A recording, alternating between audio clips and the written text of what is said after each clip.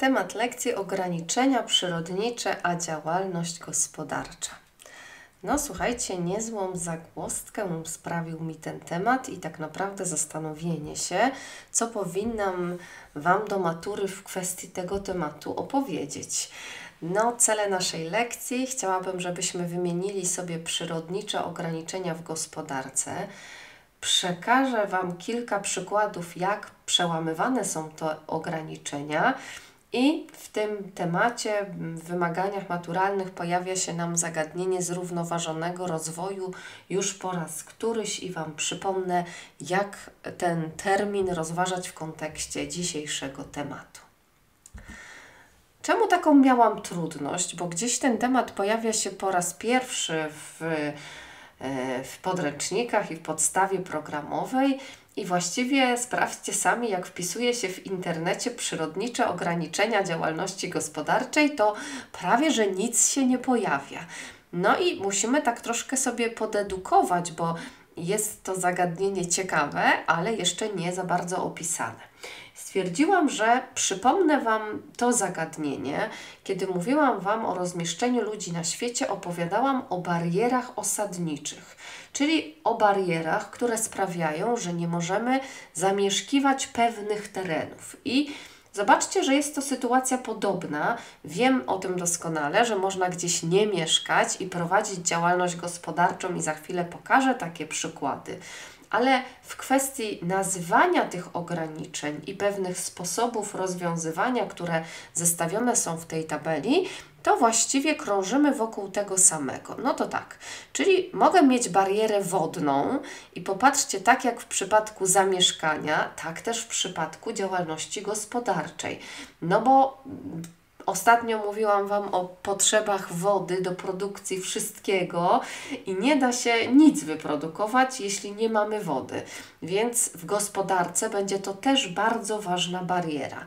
Zwracam Wam uwagę na sposoby przełamywania tych barier. Mowa jest tu o budowaniu studni głębinowych, odsalaniu wody morskiej i o tych sposobach radzenia sobie w tych terenach suchych już też mówiliśmy.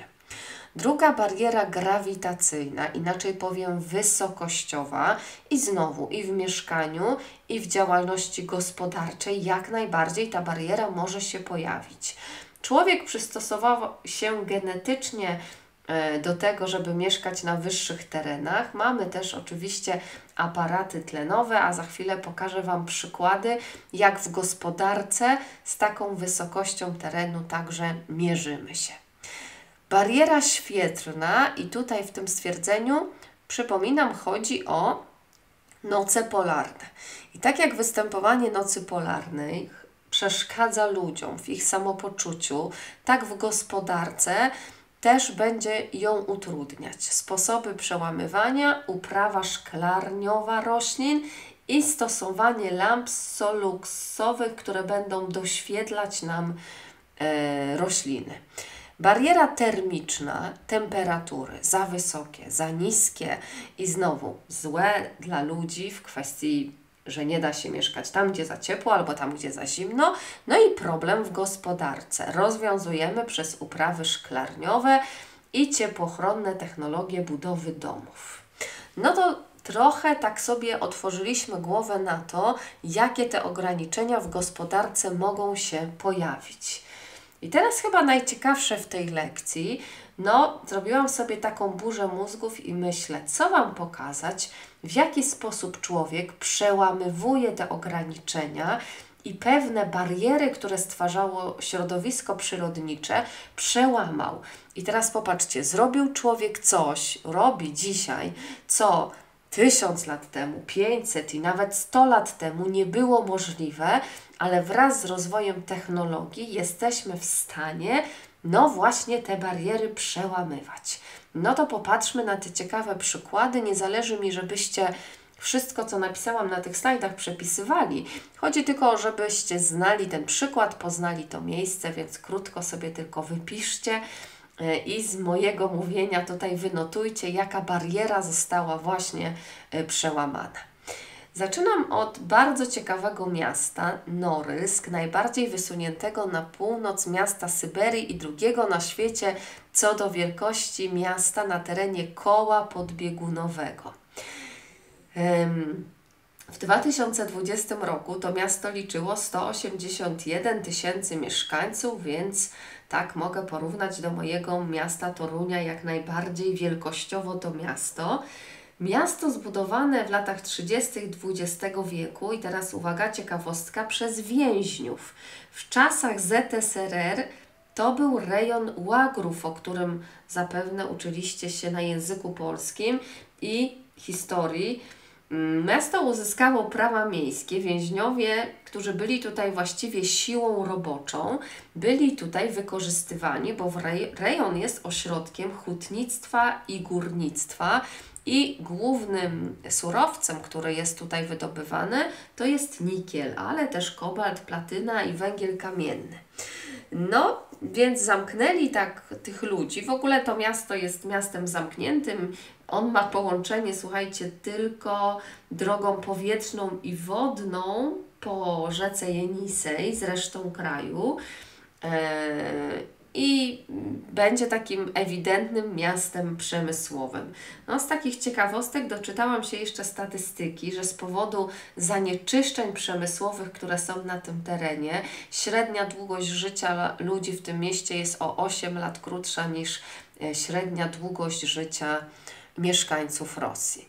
No to tak, człowiek przełamał tutaj barierę różną, przede wszystkim barierę termiczną, budując miasto za kołem podbiegunowym. No i na koniec też będziemy się zastanawiać na temat zrównoważonego rozwoju, czy oby taka decyzja jest zgodna z tą zasadą, ale o tym za chwilę.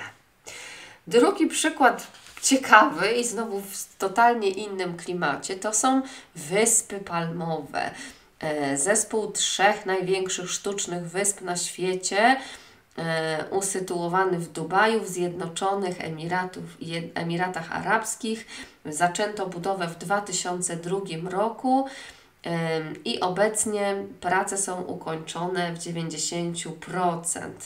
No, wyspa ma na celu mm, cele wypoczynkowe spełniać, czyli tutaj są obiekty rekreacyjno-turystyczne, noclegowe dla turystów. Zwróćcie uwagę na to zdjęcie u góry przybliżenia. Tak? W każdym takiej sztucznie zbudowanej gałęzi palmy widzę ewidentnie kontury domków. No i teraz jaka tu jest bariera przełamana? E, mamy powiększony na wodzie teren lądowy, czyli przełamaną barierę wodną właściwie i osadnictwa. E, niedawno, jak nagrywam ten film, liczba ludności świata przekroczyła 8 miliardów i zobaczcie, może tego typu przełamywanie bariery będzie kiedyś pod kątem rosnącej liczby ludności w krajach, które mają dużą gęstość zaludnienia, takim właśnie rozwiązaniem. Przykład trzeci, i jak patrzę na to zdjęcie na dole, to od razu widzę, że przełamana jest tutaj bariera ukształtowania terenu. Bo gdyby zobaczyć ten teren przed wybudowaniem tych tarasów ryżowych, to zapewne byśmy stwierdzili, że jest to teren nierolniczy i nie sprzyja gospodarcze, gospodarczo czemukolwiek. A dawny już pomysł i stosowanie E, tarasowania zboczy do uprawy właśnie ryżu przyczyniło się do utworzenia takich największych tarasów rolnych. Popatrzcie, ile one liczą lat, jest to niesamowite, że e, zakłada się, że były prawdopodobnie stworzone dzięki pracy rąk. Wysokość tutaj tych e, tarasów mm, to jest 1500 metrów nad poziomem morza i one mają powierzchnię 10 tysięcy kilometrów kwadratowych. Nic więc dziwnego, uważane są przez Filipińczyków za ósmy cud świata i zostały wpisane na listę UNESCO w 1995 roku.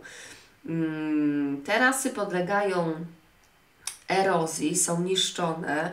Yy, więc też spore tutaj zabiegi dzisiaj Filipińczyków do tego, żeby na tej liście UNESCO, mimo zagrożenia, yy, pozostały i były zarówno terenem rolniczym, jak i dużą atrakcją turystyczną. Przykład czwarty. Najgłębsza kopalnia na świecie, kopalnia złota w RPA Podróż do, na dno tej kopalni, co widzimy na dolnym zdjęciu, trwa ponad godzinę, żeby zejść tam do najniższego punktu. No i jak to jest w, w przypadku kopalń głębinowych, e, ten czas będzie się wydłużał, bo surowiec leży coraz niżej. I też przypominam Wam, że w takiej sytuacji zwiększa to koszty wydobycia takiego surowca.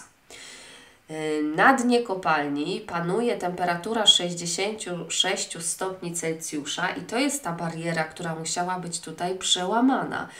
Y, udało się to poprzez trochę fizyki, uwaga, wysokowydajny system klimatyzacji oparty o lód szlamowy i on będzie ochładzał nam dno tej kopalni i tam panuje temperatura 30 stopni Celsjusza, która i tak jest dla pracujących ludzi bardzo wysoką temperaturą. Efekt jest surowiec wydobyty, bariera przełamana. Przykład z Europy tym razem. Najdłuższy tunel kolejowy, tunel Gotarda w Alpach E, no i ciekawy w ogóle pomysł na powstanie. No, jestem w Szwajcarii, w kraju, który bardzo szanuje decyzje swoich obywateli i przed budową tego tunelu zrobiono referendum. 63% mieszkańców opowiedziało się, że tak, robimy tą inwestycję i e, inwestycja zaczęła się w 1993 roku. Tutaj przełamanie tej bariery górskiej daje bardzo duże zyski właśnie dla gospodarki, skrócenie czasu yy, i teraz przeczytam Wam ile. Więc między Curychem a Mediolanem z 4 godzin 10 minut do 2 godzin 35 minut yy, skrócił się czas przejazdu. Docelowo większość ciężarówek ma być przewożonych w specjalnie przystosowanych do tego pociągach. No i teraz tutaj pod kątem zrównoważonego rozwoju, popatrzcie, mam bardzo dużą korzyść gospodarczą, ale e, tunel też pozwolił uchronić unikatowy alpejski ekosystem przed degradującym wpływem spalin, bo gdyby budować go na powierzchni, to te zniszczenia w przyrodzie byłyby faktycznie dużo większe. Całkiem inny przykład. Platforma wiertnicza wydobywająca ropę naftową, zbudowana na Morzu Ochockim, która jest uznawana za najbardziej wytrzymałą spośród istniejących platform wiertniczych na świecie. E, widzimy jej e, parametry. E, może działać przy 18-metrowych falach przy grubości kry do 22 metrów i temperatury minus 44 stopni Celsjusza. Znowu powiem, popatrzcie ile barier przyrodniczych ta platforma przełamała. Może wydobywać 4,5 miliona ton ropy naftowej rocznie. Arabia Saudyjska, która doskonale sobie radzi z tym, że położona jest w suchym klimacie i zaczęła zakładać pola y, uprawne, mimo tego, że w większości położona jest na terenie pustynnym. Jak to się odbywa? Za pomocą wody pompowanej z podziemnych warstw wodonośnych rozprowadzona jest wokół punktu środkowego, no tam się porusza taki, taki, no nie wiem, wysięgnik, tak sobie to nazwę, e, który właśnie e, krą, krążąc naokoło, dokładnie w zasięgu tego nawadniania mam idealne kółeczko i z góry wygląda to jak widzimy bardzo spektakularnie i możliwe są tam oprawy. Porównajmy zdjęcie rok 91 i 2012, czyli też zwróćmy uwagę w jakim tempie narasta ilość w ten sposób nawadnianych pól. No i tutaj znowu w zrównoważonym e, rozwoju mam pewne zastrzeżenia, bo oczywiście ta woda musi skądś się brać i jeśli jestem w terenie suchym e, i korzystam w tym momencie z wód podziemnych, to one też mogą się w pewnym momencie skończyć. I teraz przez te lata, odkąd trwa to nawadnianie, wykorzystano 8% podziemnych zasobów wo wody. No i wyliczono, że właściwie jest to takie rozwiązanie na kolejnych 50 lat i koniec. Więc nie do końca dla środowiska jest to dobra inwestycja. No i kolejny przykład mm, przełamania bariery y, górskiej, wysokościowej, budowa linii kolejowej tybetańskiej na poziomie powyżej 4000 metrów nad poziomem morza przebiega 80% trasy. Problem tutaj leży taki, że część tej trasy, ponad 500 km, leży w strefie wiecznej zmarzliny, wieloletniej zmarzliny. No, przez to też mamy problem osiadania gruntu i całej konstrukcji. I teraz, żeby zapobiec topnieniu tej wieloletniej zmarzliny, wymaga to izolacji zmarzliny od dopływu ciepła. Żeby to zrobić, usypywane były nasypy, w większości z kamieni. Tam było uwięzione w środku powietrze i to powietrze było właśnie izolatorem. Tak zresztą e, piszą też, e, ta metoda stosowana jest w ogóle w Tybecie podczas budowania domów. Mm, no, podczas powstawania tej trasy mm, broniono się oczywiście, że pamięta się o ekologii jak najbardziej, że zbudowano przejścia dla zwierząt o łącznej szerokości 46 km, więc starano się o środowisko zadbać, chociaż oczywiście jest to ewidentna ingerencja właśnie w środowisko. No i teraz jeszcze uzupełniając ten temat, muszę powiedzieć tak. Mamy na Ziemi ograniczone ilości zasobów, surowców i akurat tą barierę jest ciężko przełamać. E, to przypomnę Wam wyliczenia, które są. Ropa naftowa skończy się za 30 lat, gaz za 40 lat, a węgiel za 70 lat. Czyli wiadomo, przypominam Wam ten bardzo ważny bilans energetyczny, że energia z tych surowców musi się skończyć. I teraz człowiek nie jest w stanie odnowić tych surowców, ale w pewien sposób też przełamuje tą barierę, radzi sobie z tym i oczywiście zawsze rozwiązaniem na kończące się surowce jest, są odnawialne źródła energii.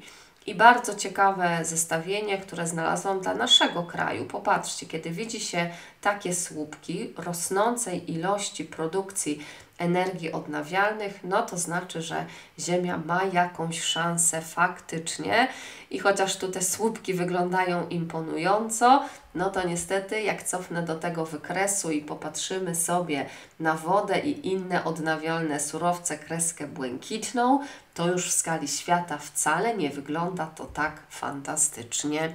No, główny problem jest taki, że oczywiście mogę mówić, że powstaje mnóstwo farm wiatrakowych, i kolektorów słonecznych, ale one dają zdecydowanie mniej energii niż jedna y, elektrownia cieplna i w tym jest problem.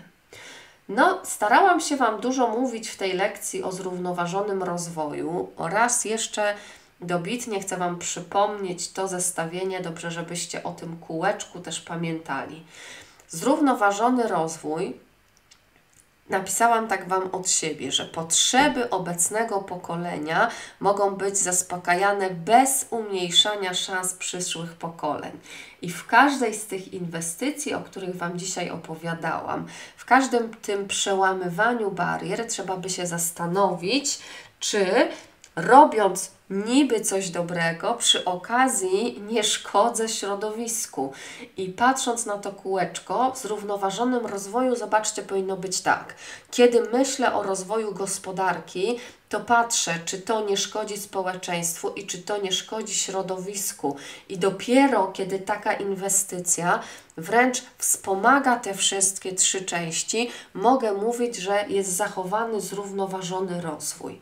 I żeby lepiej to zapamiętać, chcę Wam podać dwa przykłady bardzo podobne, dotyczące się problemu wody, w jaki sposób można go rozwiązywać, zachowując zrównoważony rozwój, więc napisałam po stronie plusów, że jest to inwestycja, która myśli o zrównoważonym rozwoju, lub inwestycja, która nie zachowuje tego zrównoważonego rozwoju. No i na plus budowa studni w rejonie Sahelu. Myślę o różnych częściach, myślę o tym, że tak Łagodzi konflikty o wodę taka inwestycja, poprawia zdrowie i higienę mieszkańców, wydłuża ich życie, odciąża kobiety, które musiały chodzić i nosić tą wodę na głowie. Myślę, że nieraz to widzieliście. I poprawia się, poprawia się uprawa roślin, które mogę dzięki dostarczeniu tej wody wykonywać. I wracam do tego kółka, no czyli mam zysk dla środowiska, dla roślin, dla ludzi, dla kobiet i dla gospodarki.